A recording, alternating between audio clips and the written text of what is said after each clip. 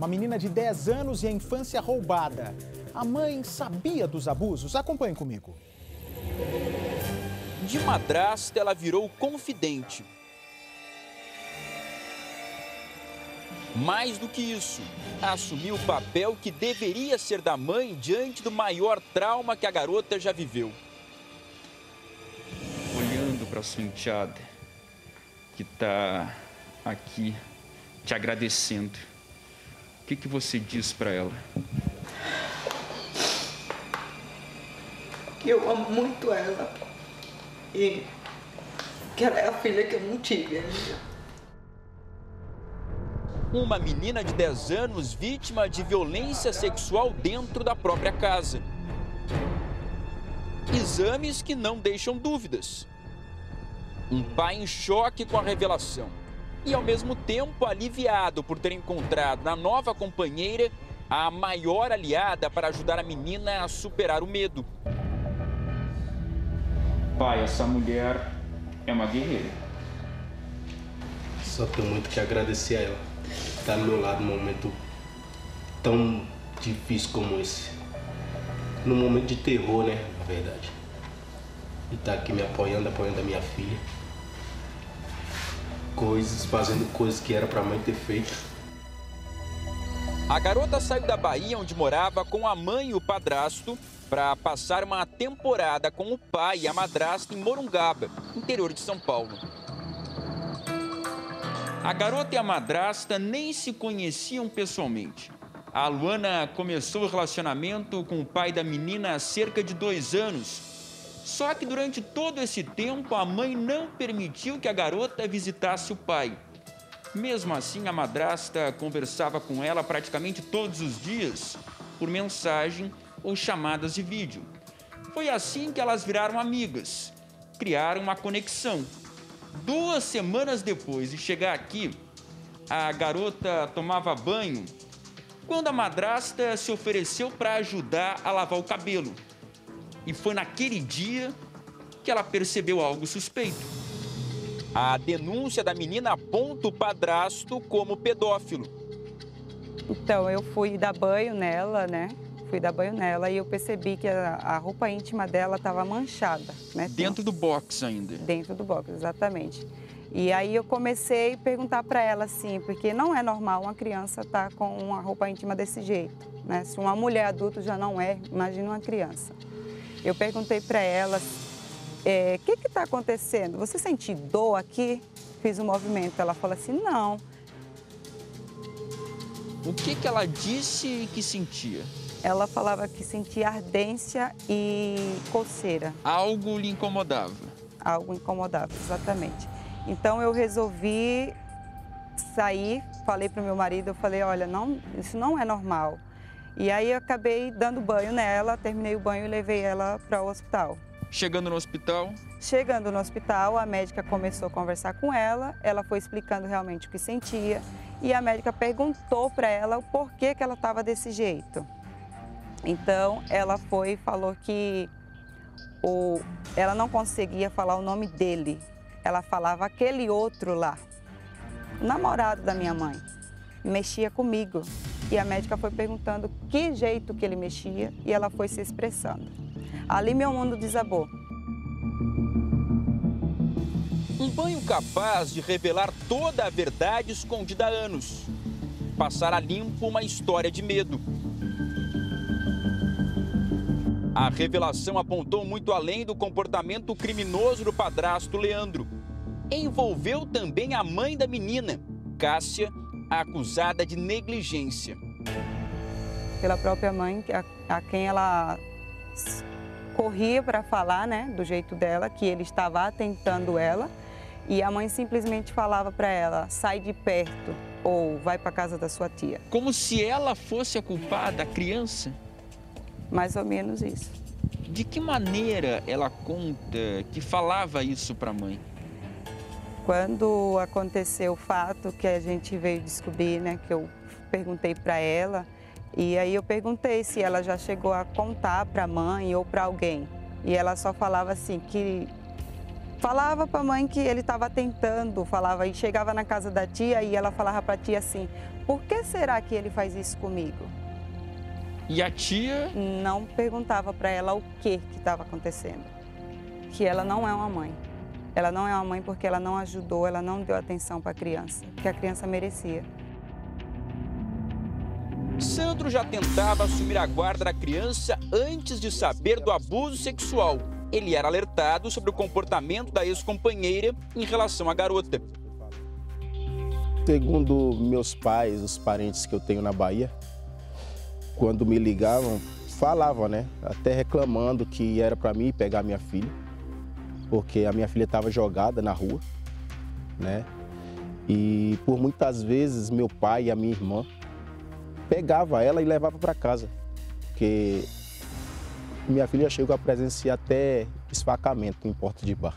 Ou seja, ela era arrastada para o bar pela própria mãe que deveria protegê-la. Isso. E quando não ia para o bar, ficava em casa com o padrasto, o que era até pior. Pior. E minha irmã ficava revoltada com a, com a própria mãe da minha filha, devido a essas coisas aí. E eu estava me sentindo, na verdade, impotente, né? incapacitado, porque é, diante de tantas reclamações e eu daqui, eu longe, não podia fazer nada.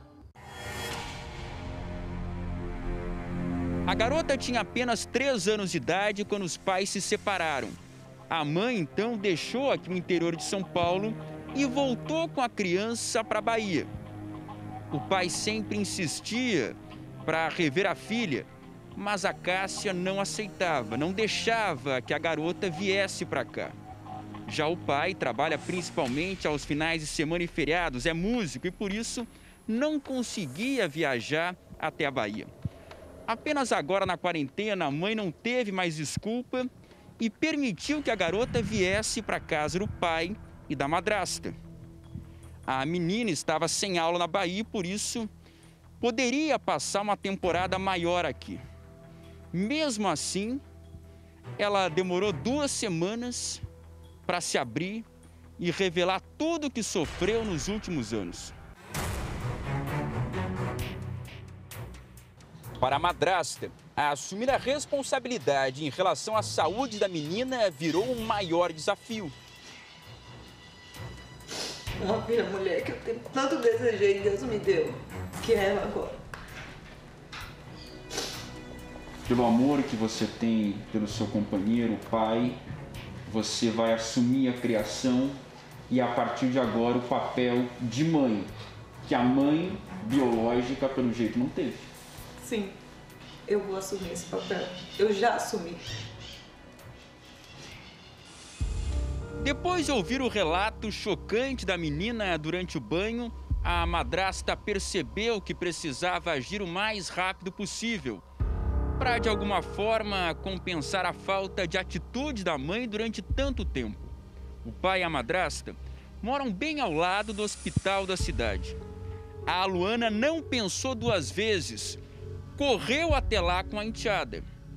A menina fez os primeiros exames e conversou com uma médica, repetindo a mesma história que já havia contado para a madrasta. O conselho tutelar foi acionado e mais uma vez a garota manteve a mesma versão. Já não havia dúvida da violência sexual. Mesmo assim, todos os exames foram feitos e, de novo, confirmaram o abuso. Agora, o desejo da família é a prisão do acusado.